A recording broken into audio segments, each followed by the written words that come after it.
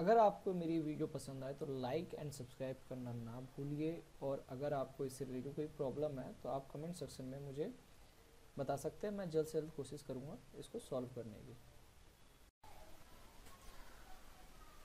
दोस्तों, आज हम बात करेंगे ऑटोमेटिक अपडेट के बारे में। मैं विजय यादव, आपको एस आर ज्ञान मेरे यूट्यूब चैनल में आपका स्वागत है। आज के दिन हम ये देखेंगे कि कोई भी एंट्री करते हैं हम तो वो ऑटोमेटिक कैसे सिंक्रोनाइज ए टू जेड हो जाता है। जैसे कि मैं अभी करने जा रहा हूँ एंट्री कर रहा हूँ। सपोज़ मैं, मैंने मैं लिखा दीपक मोहित। अब देखिए हमें, मैं इसमें अमित लिखता हूँ। ऊपर आ गया वो, क्योंकि ए ए जो लेटर है, वो ऊपर होना चाहिए, ऊपर आ गया। राजू। अंकित। मोनिका। ठीक है, ये सारे जितने भी हैं, जो इस सिलेक्शन में आप देख रहे हैं, यहाँ पे ये सारे ए टू जेड हो रखे हैं। ठीक है? ये कैसे हुआ? ये हम इस आज की वीडियो में देखेंगे तो प्लीज़ इस वीडियो को एंड तक देखिएगा। मैं ये डाटा को डिलीट कर देता हूँ। ये हमारे पास डाटा है। मैं एक अलग से दूसरी सीट पे शीट टू पे जाके मैंने ये पेस्ट कर दिया।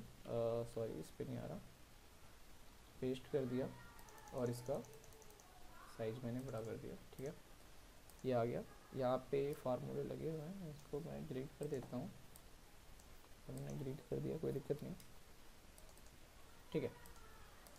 अब हम सबसे पहले यहाँ पे कुछ नाम लिख लेते हैं, जैसे कि मैंने लिखा Mohit, Amit, Raju, Suraj, Deepak, Ankit.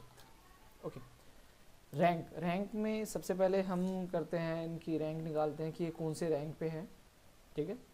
कि इनका रैंक कौन सा है? पहले नंबर पे, दूसरे नंबर पे है या फोर्थ नंबर पे है, जिस पे भी है, उसका हम रैंक निकालते हैं। तो इसके लिए हम लगाएँगे सिंपल सा formula equal to C O U N T count if sorry count if count if bracket range range के अंदर हम दे दिया हमने, मुझे यहाँ से यहाँ तक का डाटा चाहिए, ठीक है? इसके अंदर हम एक कंडीशन लगाएँगे लेस देन एंड दैट और ये हमें फिक्स चाहिए होगा। इसको हम एफ़ कर देंगे डॉलर क्योंकि ये हमेशा हमें फिक्स चाहिए। हम छः रैंक ले रहे हैं छः हमें फिक्स चाहिए। अगर आपको ज़्यादा चाहिए तो आप ज़्यादा भी ले सकते हो। आप जैसे कि यहाँ पे सेवन बी सेवन तक है तो हम इसको सौ हंड्रेड जितना भी हमें फ़िल्टर करना है डाटा जितना हमारे पास डाटा होगा, उतना हम मैक्सिमम ले सकते हैं, कोई इशू नहीं है। हमने यहाँ पे एंटर मार दिया, ठीक है?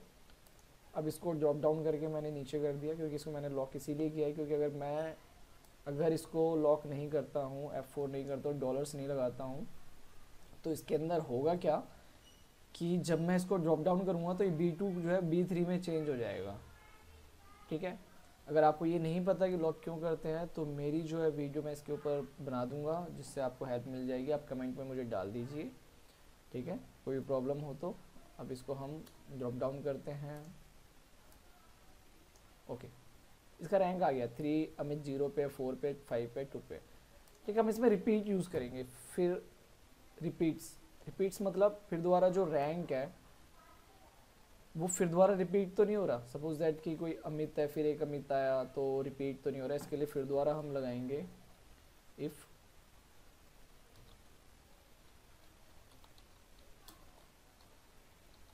काउंट इफ़ ठीक है? सेम इसके अंदर क्या करेंगे हम? बी टू के बारे में बात करें, फिर same B two comma B two मतलब हम इसी में बात करेंगे और इसी को ही इसी से चेक करेंगे कि ये रिपीट तो नहीं है। इसके अंदर इस पे जो है बी टू का जो फ़र्स्ट है, ध्यान से देखिएगा, ये बी टू का जो फ़र्स्ट है, ये लॉक होना चाहिए। मैं एक बार दिखला देता हूँ आपको बी टू का ये लॉक होना चाहिए और इसको फिर दोबारा ड्रॉप डाउन कर देंगे। अब देखेंगे इसमें देखिए B two B two B two B two B three B three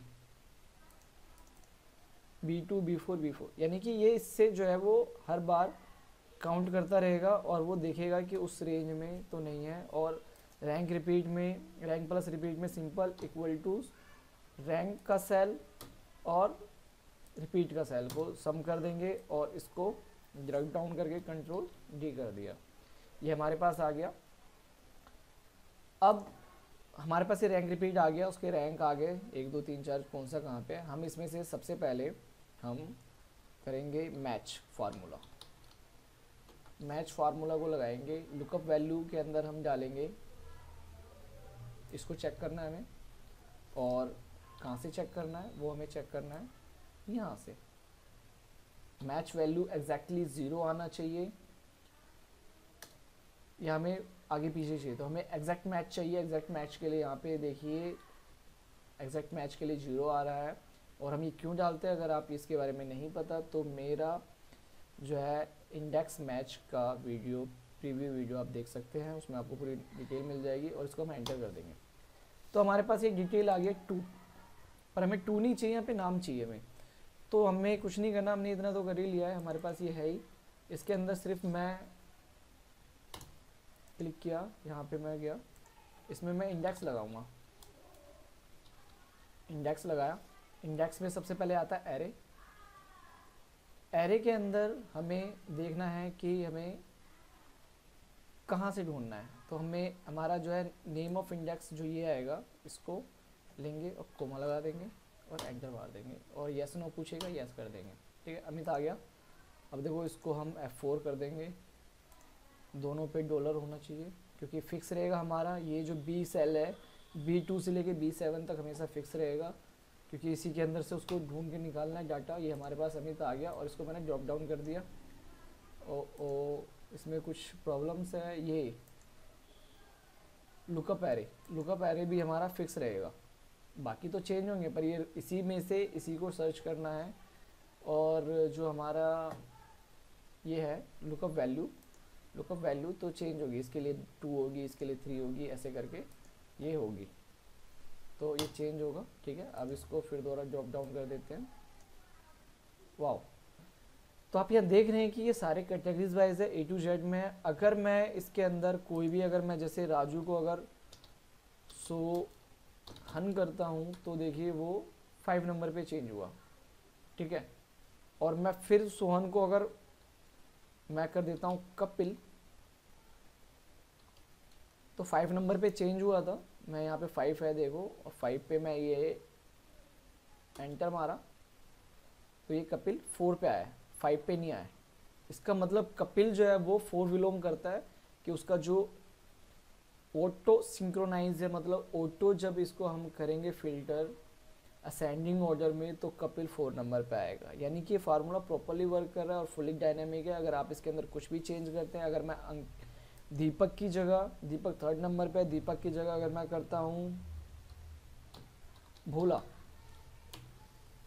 तो थर्ड नंबर पे हुआ चेंज क्योंकि अंकित दो बार है, दो ए है ऑलरेडी कैटेगरी में है। तो अगर मैं सपोज़ मैं अंकित आ रहा है टू नंबर पे और ये सबसे लास्ट में इसमें मैं कर देता हूँ रोहन। रोहन तो आप देखेंगे वो टू पे नहीं आएगा। रोहन आया नंबर फाइव ये आप देख रहे हैं नंबर फाइव पे रोहन आया, ठीक है? और यहाँ पे जो है रोहन नंबर सिक्स पे ये ऑटोमेटिक है, ये इंडेक्स मैच फार्मूला का विथ काउंट इफ़ फार्मूले के साथ है, जो कि ये बहुत ही ज़्यादा उपयोगी, उपयोग है और यूज़फुल है। और ये जब हम ऑटो डेटा करते हैं तो उसके लिए बहुत ज़्यादा, जब हम बल्क में डाटा बनाते हैं, उसके में बार बार ऑटोमेटिक सिंक्रोनाइज करना होता है, उसके लिए बहुत ज़्यादा यूज़फुल होता है। तो हमें बार बार करने की ज़रूरत नहीं है और वो अपने आप ही डाटा को अपडेट करता रहेगा, जैसे जैसे हम एंट्री करते रहेंगे। ठीक है, ये मैं सेम सीट पे बनाया मैंने, पर आप इसको डिफरेंट सीट पे भी जो है लिंक करके बना सकते हैं, कोई इशू नहीं अगर कोई प्रॉब्लम आती हो तो आप मुझे कमेंट में डाल दीजिए, मैं प्रॉब्लम को जल्द से जल्द सॉल्व करने की, या जो भी उसका सॉल्यूशन होगा उसके ऊपर वीडियो या जैसा भी होगा, वो मैं आपको कर दूँगा। थैंक यू फॉर वॉचिंग अगर आपको वीडियो अच्छा लगे तो लाइक एंड सब्सक्राइब ज़रूर करें।